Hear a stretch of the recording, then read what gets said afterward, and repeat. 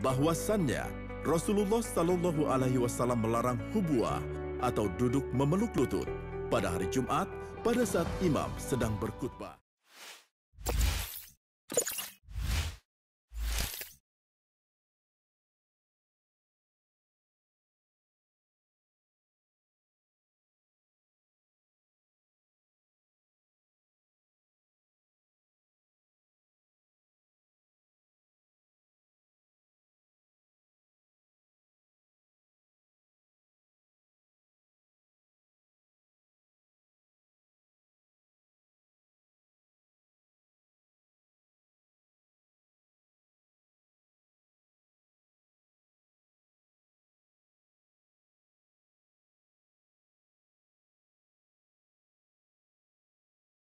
Pertama. Sahabat Muslim, sering kali kita melihat seorang ibu ketika menyuapi anaknya makanan yang masih panas, dia meniup makanannya lalu disuapkan ke anaknya. Bahkan, orang dewasa pun ketika minum teh atau kopi panas, dia meniup minuman panas itu lalu meminumnya. Cara demikian tidaklah dibenarkan dalam Islam. Bukan Islam jika tidak memberikan aturan hidup yang universal. Seluruh aturannya bermanfaat untuk kehidupan yang sehat dan aman. Salah satunya adalah aturan larangan meniup makanan dan minuman yang masih panas. Terdapat beberapa hadis yang menunjukkan larangan meniup makanan atau minuman. Di antaranya, hadis dari Abu Qatadah radhiyallahu anhu. Rasulullah Shallallahu alaihi wasallam bersabda, "Apabila kalian minum, janganlah bernafas di dalam gelas, dan ketika buang hajat, janganlah menyentuh kemaluan dengan tangan kanan. Hadis riwayat Bukhari 153.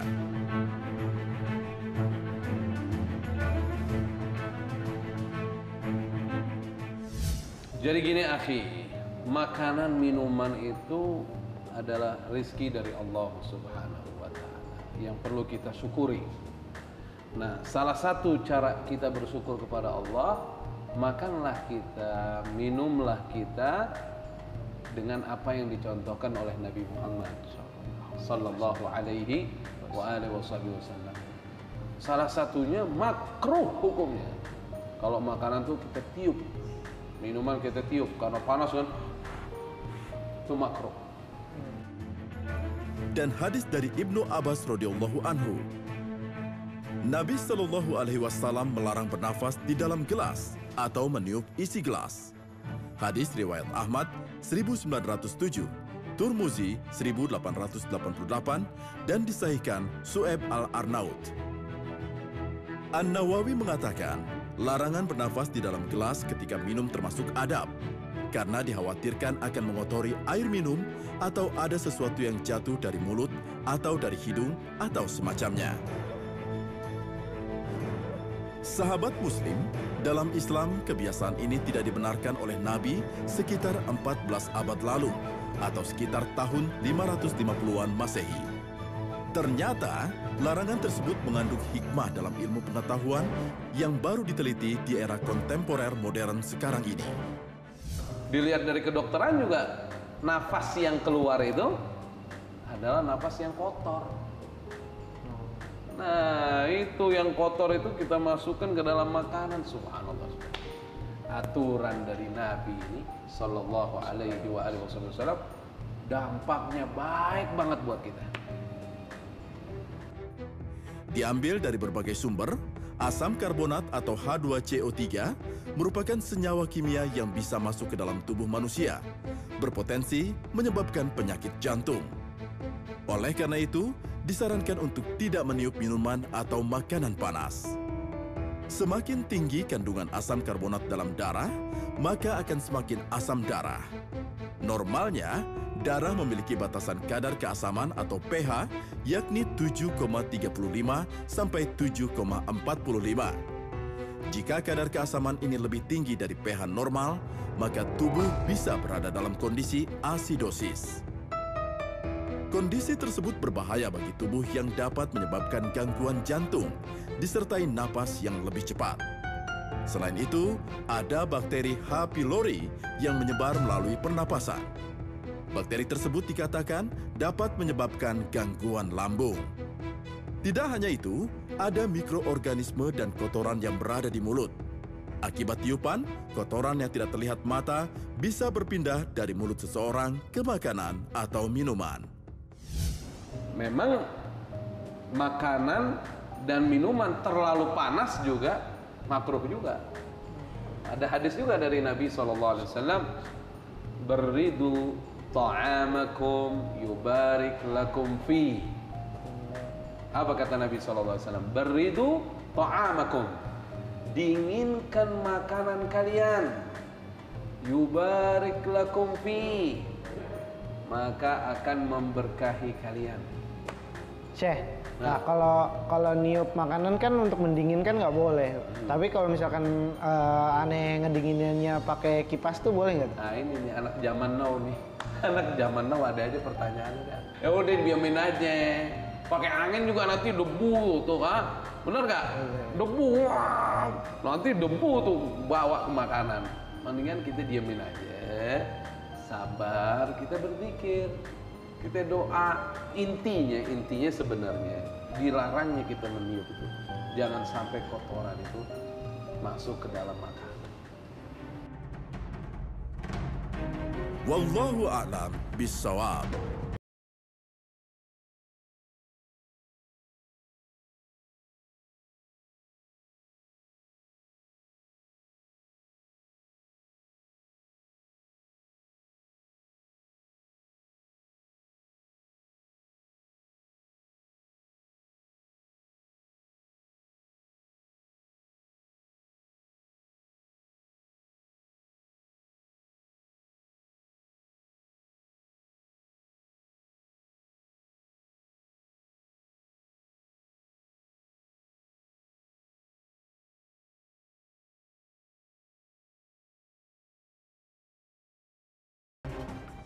Jadi Jumat ini akhi, Masya Allah, ini Jumat ini khususia. Khususia tuh kekhususan yang Allah berikan cuman kepada umat Nabi Muhammad Sallallahu alaihi wa wasallam. Nggak diberikan sama umat yang lain. Nggak ada umat yang sebelum kita dapat ibadah kayak Jumat ini. Hajinya orang-orang fakir Kata Nabi Sallallahu alaihi wa wasallam. Dan kita semua ini fakir di hadapan Allah Subhanahu wa ta'ala Makanya kita datangnya mulai dari awal tuh supaya semakin awal kita datang semakin besar pahalanya. Nabi Shallallahu Alaihi Wasallam bersabda, "Jika tiba hari Jumat, maka para malaikat berdiri di pintu-pintu masjid, lalu mereka mencatat orang yang datang lebih awal sebagai yang awal." Perumpamaan orang yang datang paling awal untuk melaksanakan sholat Jumat adalah seperti orang yang berkurban unta.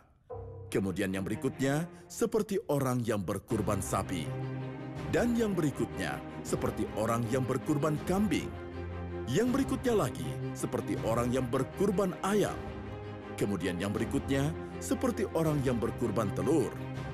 Maka apabila imam sudah muncul dan duduk di atas mimbar, mereka menutup buku catatan mereka dan duduk mendengarkan zikir khutbah.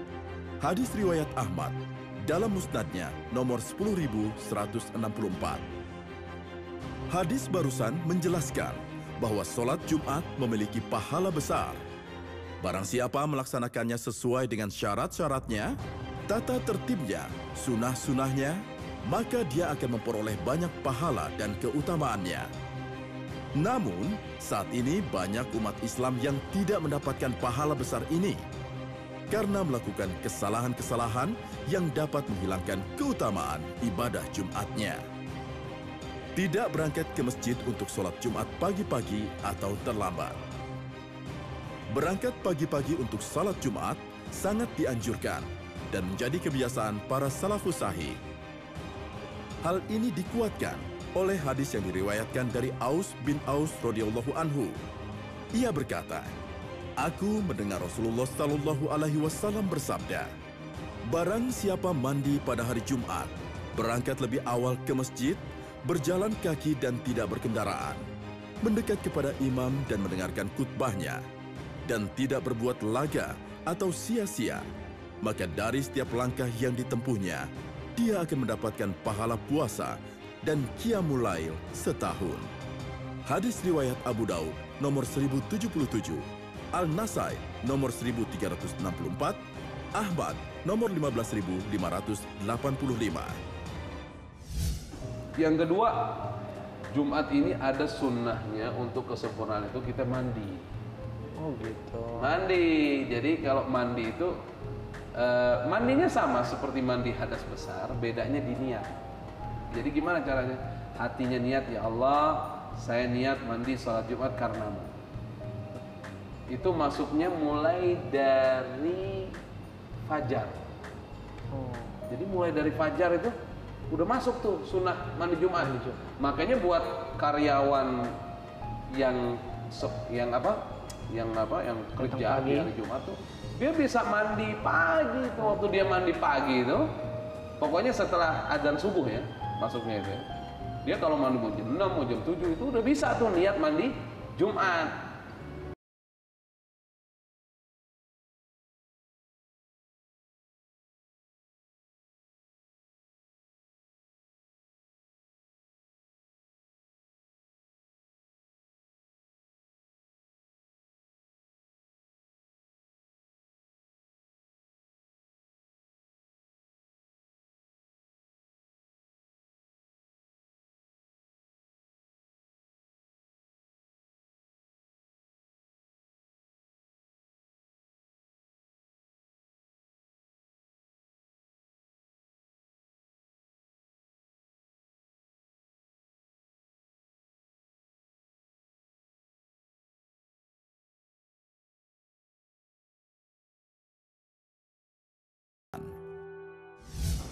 Kadang-kadang orang ada sebagian orang nyepelein khutbah. Ah. Idza qulta li sahibika yaumal jumu'ati ansit wal imamu yaktubu faqad laghaut. Itu riwayat Imam Bukhari wa Muslim. Rasulullah sallallahu alaihi wasallam bersabda jika kamu berkata kepada temanmu diamlah kamu. Nah, kalimat diamlah kamu padahal saat itu khotib lagi lagi berbicara di atas mimbar. Khotib sudah naik mimbar, kita ngomong diamlah kamu sama teman kita. Maka itu sudah sia-sia. Kalau nih Syekh. Jadi mengurangi pahala tuh. Kalau misalkan saya diem, hmm. tapi saya main handphone gitu, itu gimana tuh Syekh? Iya, yeah, pembicaraan itu bukan cuman mulut sekarang. Sekarang juga jari juga ber, berbicara.